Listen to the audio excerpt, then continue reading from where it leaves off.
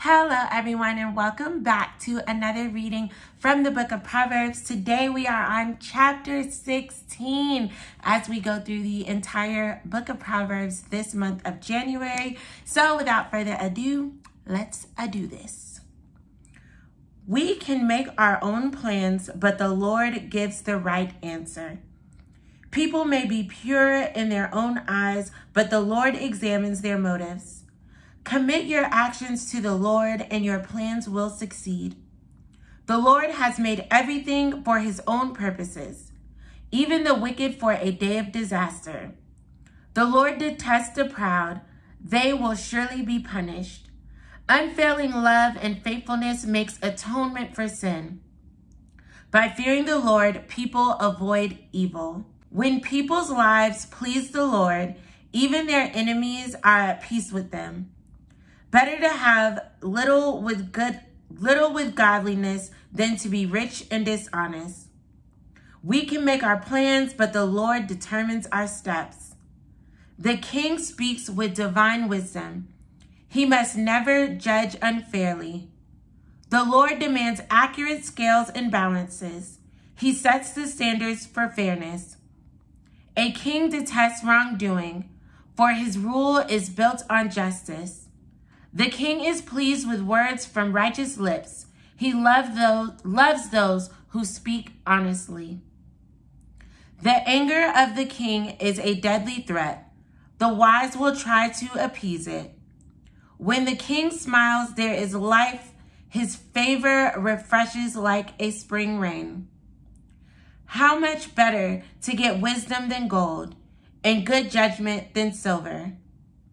The path of the virtuous leads, leads away from sin, away from evil. Whoever follows that path is safe. Pride goes before destruction and haughtiness before a fall. Better to live humbly with the poor than to share plunder with the proud. Those who listen to instruction will prosper. Those who trust the Lord will be joyful. The wise are known for their understanding, and pleasant words are persuasive. Discretion is a life-giving foundation to those who possess it, but discipline is wasted on fools. From a wise mind comes rich comes wise speech. The words of the wise are persuasive. Kind words are like honey, sweet to the soul and healthy for the body. There is a path before each person that seems right, but it ends in death. It is good for workers to have an appetite. An empty stomach drives them on. Scoundrels create trouble.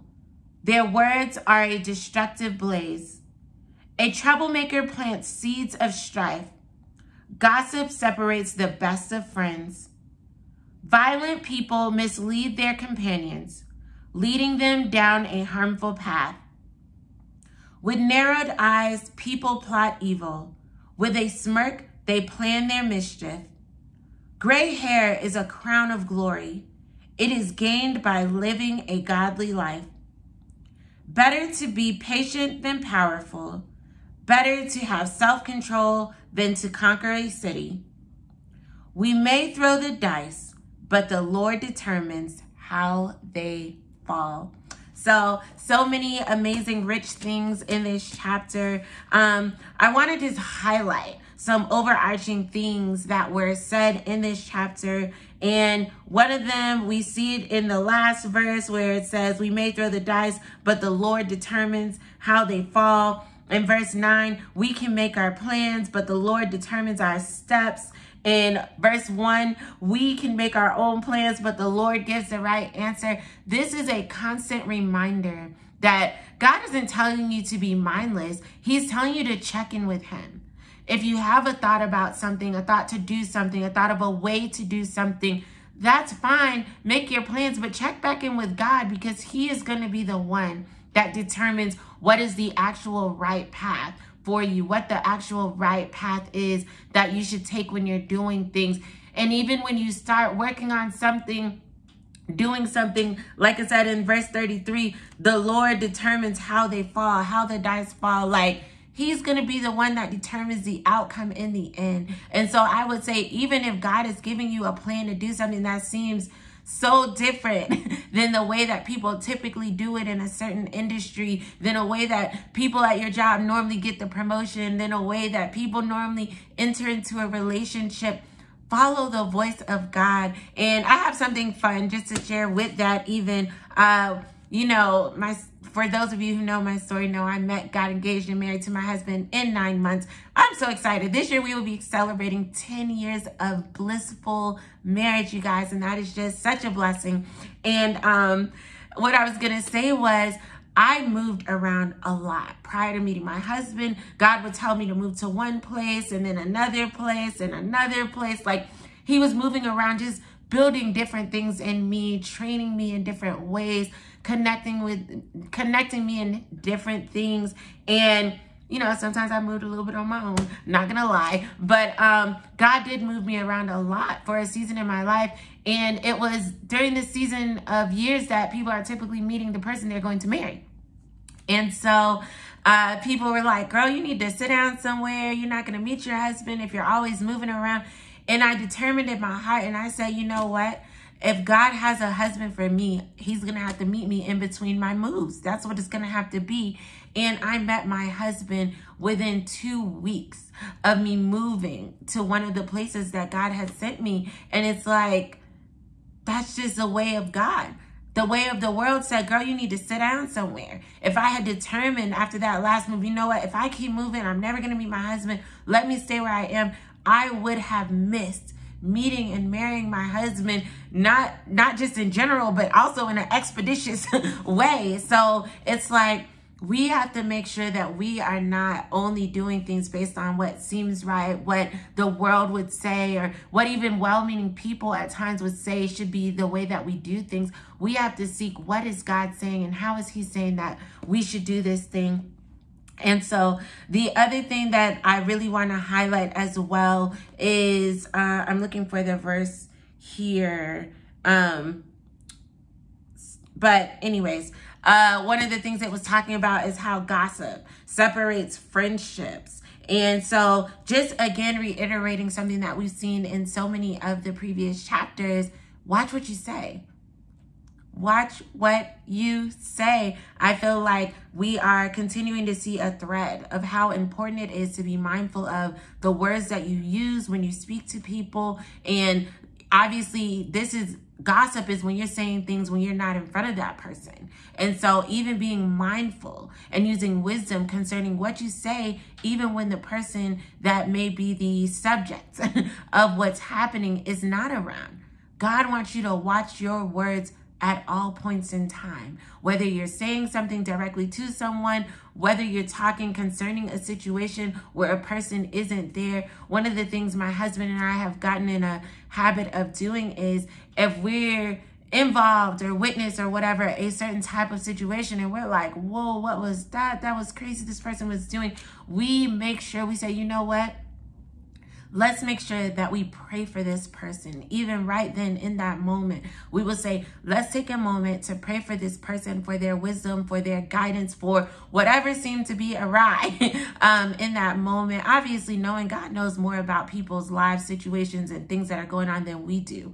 And so even not praying from a place of judgment, but praying from a place of genuinely wanting the best for that person, wanting God's will for that person's life, wanting God's wisdom to pour into that person's life. And so even if, you know, whatever things may happen, make sure you stop and you say, you know what?